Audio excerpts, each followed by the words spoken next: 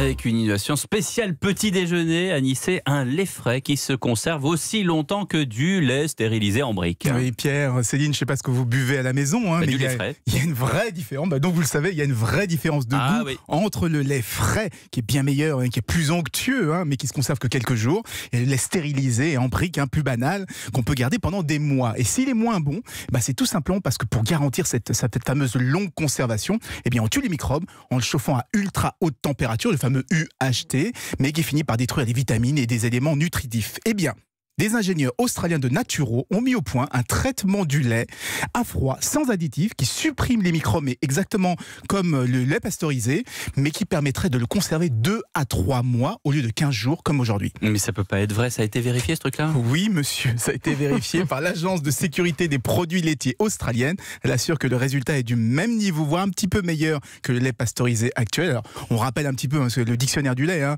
Le lait cru, c'est celui qui sort Mhm. du pied de la vache, hein, c'est formidable, mais il tourne au bout de quelques heures. Il peut rendre aussi très malade. C'est pourquoi on recommande de le pasteuriser, de le chauffer un peu. Bon, ce, ce lait frais longue conservation, il est déjà en vente? Euh, Attendez, attendez, attendez, l'innovation vient à peine d'être validée. Il faut encore construire des usines qui sont capables de traiter des, des énormes volumes de lait. Donc ça prendra encore quelques mois. Ça va arriver dans quelques mois dans nos magasins.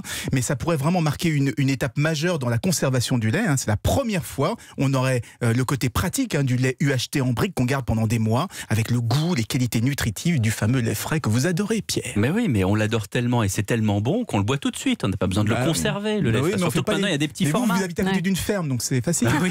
Comment vous ça. savez ça? Merci, Annie Semida.